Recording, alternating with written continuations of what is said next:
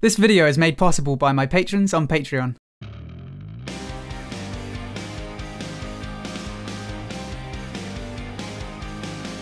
Hello everyone, my name is Xiomaro and welcome to Battlerite Sage. So, as many of you know by now, starting in Season 3 there will be no more 2v2 in solo queue. I've said this in another video, but it's worth reiterating that you will still be able to play 2v2 in casual, and you'll still be able to play 2v2 with a pre-made. If you really don't like 3v3, there are other people who share your sentiment, so I would highly recommend teaming up with one of them and queuing as a pre-made. However, after Season 2 ends on Monday, you won't be able to play 2v2 in solo queue anymore. This means that 3v3 will be the only solo queue mode in Ranked. So if you're someone who really doesn't want to play with a team, let's give you a quick primer on how to play 3v3. So before we get into the differences, let's go through the similarities between the two modes. First off, cooldown management. Cooldown management is just as important in 3v3 as it is in 2v2. This may even be an advantage you can take from your 2v2 experience. Some 3v3 players, especially in lower diamond and below, don't have great cooldown management or reactions. They have their other skills down, which is why they are where they are,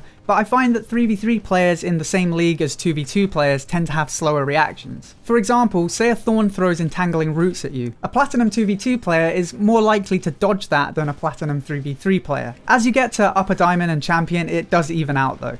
Secondly, aiming and dodging. Again, there's a bigger emphasis on aiming and dodging in 2v2, so that's another advantage you can take from your experience. I would be willing to bet a Platinum from 2v2 has marginally better aim and dodging skills than someone from the same rank in 3v3. Now, don't misinterpret what I'm saying here. 3v3 players can aim and they do have decent cooldown management. It's just that 2v2 places a higher demand on those skills. So don't go into 3v3 thinking you can outplay people with your insane footsie skills alone. And the reason for that is there are a few skills that you haven't developed due to playing 2v2 exclusively. Firstly, positioning. This is by far the biggest issue 2v2 players have in 3v3. In 2v2, if you see someone on the enemy team burn a cooldown, you can chase them into infinity. It doesn't really matter where you're chasing them to, just chase them and keep hitting them until they're forced to use their escapes again, and then chase them some more. I know not all 2v2 players play this way, but the ones who'll have trouble in 3v3 will be the ones who do do this. Don't get me wrong, with some teammates you can still go super aggro in 3v3. If you have a team comp like Freya, Ezmo and Oldur,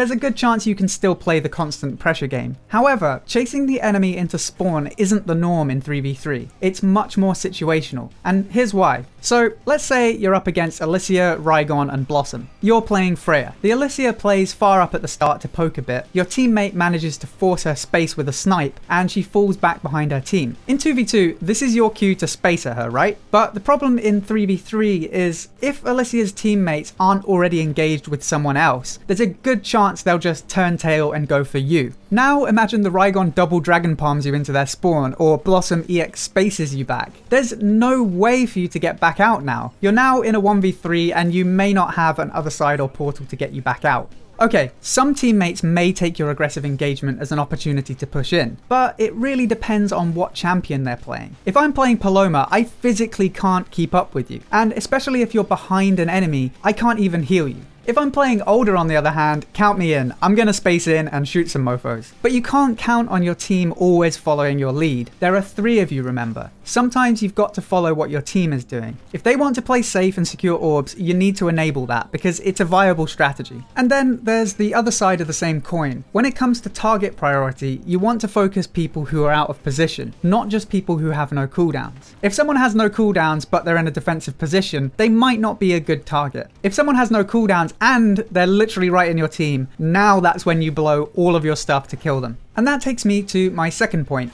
burst windows. So maybe you're thinking, well, if I'm not supposed to chase someone when they have no cooldowns, how am I ever supposed to kill someone? And the answer is, you need to force them into a bad position when they have no cooldowns. For example, there are a lot of champions who can pull someone towards their team after they space. Ezmo with his right click, Thorn with his Q, and Freya with her counter when it gets hit. Alternatively, you can catch someone in some CC and then pop your big hitters while they can't respond. And that's what a burst window is. It's a moment, however brief, that someone is both in a position where you can focus them and has no cooldowns to respond to your burst. And in 3v3, that's what you're always looking for. So those are the main things to watch out for when coming from 2v2. If you're new to 3v3, you should spend most of your time learning to position correctly and learning how to identify a burst window. But let's give you some more quick tips. Ground targeted abilities are really great in 3v3. It's actually kind of funny, but quite often people will blow their space to avoid my E as Oldur, even if they don't have a time bomb on them. Especially if they space into a bad position, that can be a great setup for my team. So quite often I'll throw my ground targeted stuff at a ranged DPS or support who seems to be free casting, and if nothing else, it takes the pressure off my team for a bit. And that's actually something to watch out for in 3v3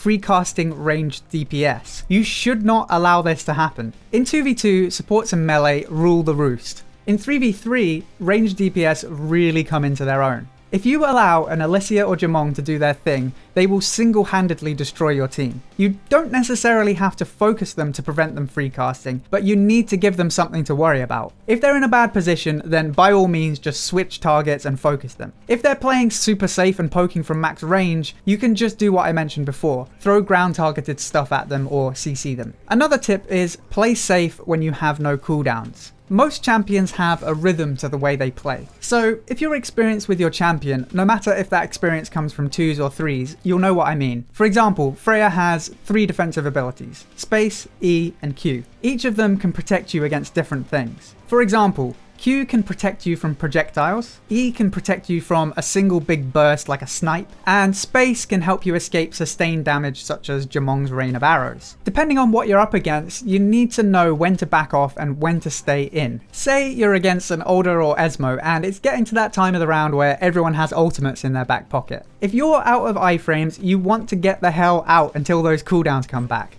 Force them to dive deep if they want to catch you with no iframes. Sure, they might just do it, but that puts them in a bad position too.